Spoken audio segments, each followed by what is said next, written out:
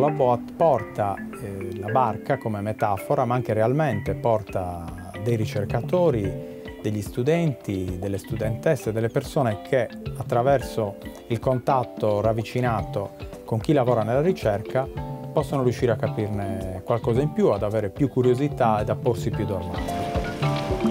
La caratteristica principale eh, dell'uomo è la, curiosità, quindi eh, grazie alla curiosità poi eh, si può andare avanti e quindi innovare appunto e scoprire sempre nuove cose. Continuare a scoprire quello che, che ci circonda, almeno cercare di capirlo meglio perché eh, anche il mare noi lo vediamo così ma alla fine sotto ci sono misteri e proprio la scienza ci aiuta a capire meglio quello che non sappiamo.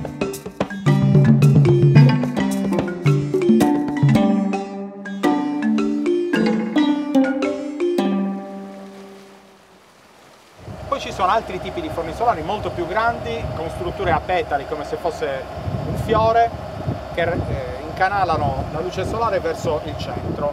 La scienza interessa a tutti, soprattutto come risultati, come applicazioni tecnologiche che entrano nel quotidiano di tutti noi. Allora perché parlare di scienza solo con chi si occupa di scienze e di ricerca? Da questo interrogativo siamo partiti con l'idea di portare la scienza e di raccontare la ricerca in tutti i posti della Sardegna, intorno ai quali questa ricerca si compie e si realizza quotidianamente. Descriviamo brevemente l'alto fuoco, sostanza altamente infiammabile sensibile alla, al calore, alla luce, eh, produce delle fiamme verdi brillanti che non si placano con l'acqua ma necessitano di ingenti quantità di sabbia. Per me è stata una scoperta che la Sardegna è da sempre, almeno dal 1990, un polo tecnologico e di ricerca scientifica notevolissimo. È stato definito la Silicon Valley italiana.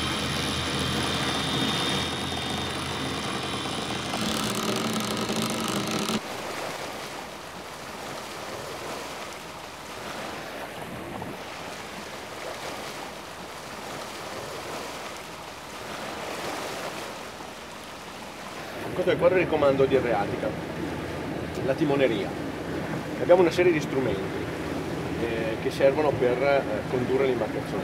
Partendo da questo, che è quello che più sovente si trova su una barca oggi, sia una barca a vela che una barca a motore, è un plotter cartografico, cioè uno strumento che ha una cartografia, un po' come il GPS dell'automobile, no? che però quello ha un software con eh, strade terrestri e questo invece ha delle carte nautiche, quindi tutte le informazioni che servono alla navigazione. Riproduce in realtà quelle che erano le carte di carta che usavamo per navigare fino a qualche anno fa. Questo percorso della barca in Sardegna il CRS4 l'ha voluto proporre a una decina di partner scientifici, cioè realtà che nel territorio, vuol dire nelle città eh, nei luoghi dove si fa la ricerca in Sardegna operano realmente, luoghi dove ci sono persone, dove ci sono tecnologie e dove tutto questo porta dei risultati quotidiani che sono fatti di, di ragionamenti eh, intorno ai quali poi si costruiscono delle pubblicazioni, dei, delle basi sulle quali sviluppare delle tecnologie e delle applicazioni che poi vengono testate a partire dai prototipi e eh, possono giungere anche sul mercato come realizzazioni concrete da parte dell'industria.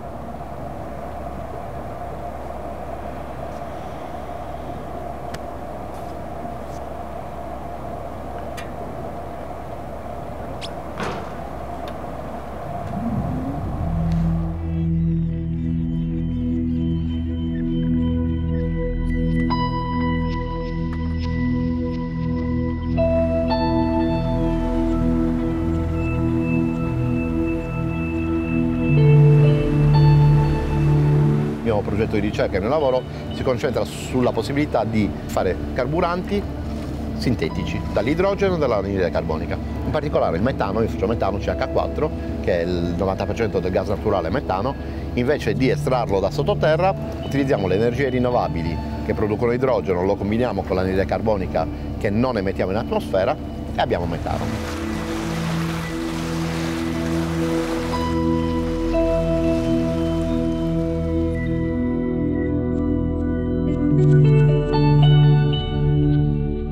Sfida in questi casi, come sempre capita quando si devono raccontare eh, temi pesanti e di renderli leggeri ma senza banalizzare. Questo è stato il compito che molti dei colleghi che abbiamo coinvolto, delle varie realtà scientifiche, hanno dovuto intraprendere per poter raccontare ciò che nella realtà è difficile e complicato. Per fare questo abbiamo utilizzato all'inizio del progetto la tombola della scienza, una proposta che ci ha portato Patrizio Roversi, quindi abbiamo in collaborazione con tutti i partner scientifici proposto una serie di numeri che sono stati poi eh, rielaborati, digeriti e trasformati in pillole di scienza il più possibile semplici e comprensibili al pubblico presente. Siamo qui all'evento di lancio del progetto LabBot e sono con Bent Stumpe, uno dei nostri ospiti d'onore. Eh, è un pioniere nell'invenzione del touchscreen che è all'origine di tutti gli smartphone e tutta la tecnologia touch. Uh, Bent ha inventato questo nuovo sistema negli anni 70 al CERN a Ginevra e adesso uh, gli chiedo di mostrarci il prototipo della sua invenzione. Hi Bent. Well, This is the screen which was developed for the uh, CERN superproton uh, synchrotron, which was seven kilometers in circumference. And it was the only thing which controlled the machine apart from a tracker ball and a computer controlled knob. So all the conventional switches and buttons and so on was replaced by the touchscreen in the same way as you use your iPhone today. L'obiettivo è quello di fare divulgazione scientifica. Io faccio leva sulla mia profonda ignoranza eh, perché mi medesimo nel pubblico che non ne sa e farò delle domande eh, spesso stupide ma fondamentalmente basilari a, agli scienziati che risponderanno e rispondendo si raccontano. Sotto questa chiave anche alcuni degli interventi eh, dei laboratori in particolare eh, sono stati particolarmente apprezzati perché hanno messo il gioco al centro di tutto, il gioco per svelare alcuni concetti matematici, il gioco come chiave per eh, mostrare delle tecnologie e il gioco anche come metafora della ricerca stessa.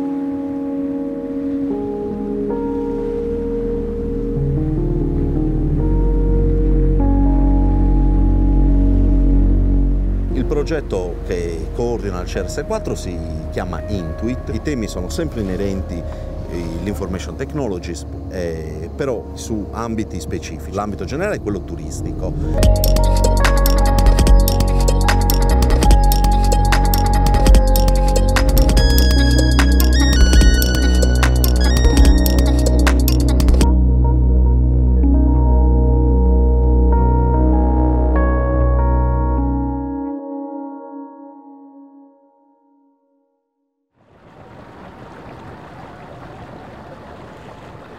Il flusso turbolento è energia che va un po' in tutte le direzioni, non è mai canalizzata e quindi diciamo, è molta energia che viene dispersa, anzi tipicamente viene proprio dispersa in calore, mm, in tutta una serie di cose che non servono per utilizzare la vela in, come un mezzo propulsivo.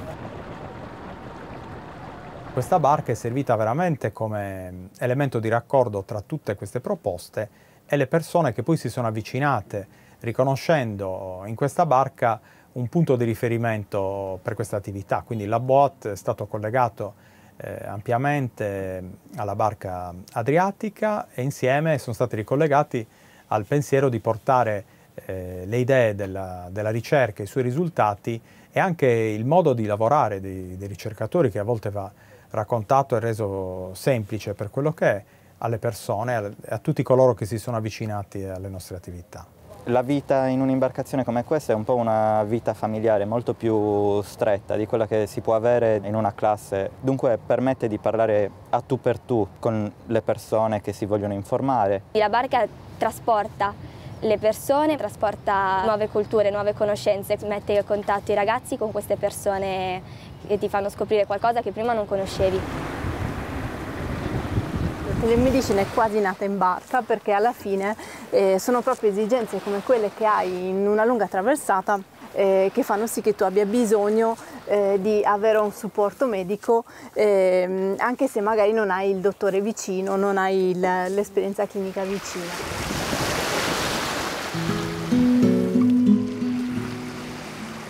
I raggi cosmici sono oggetto di ricerca ormai da più di 100 anni. La fisica delle particelle è nata con lo studio dei raggi cosmici.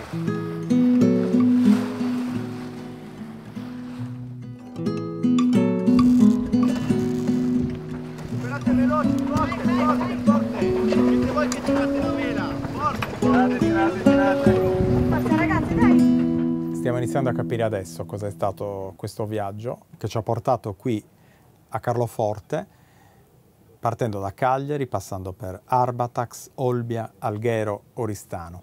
Carloforte rappresenta la penultima tappa e insieme anche il momento in cui si cerca di eh, raccontare, raccogliere le idee, cercare di riflettere su quello che è stato questa esperienza. Sicuramente più importante, più intensa di come la, addirittura si fosse immaginata e soprattutto con l'interrogativo cosa sarà e cosa ci aspetta dopo Carloforte.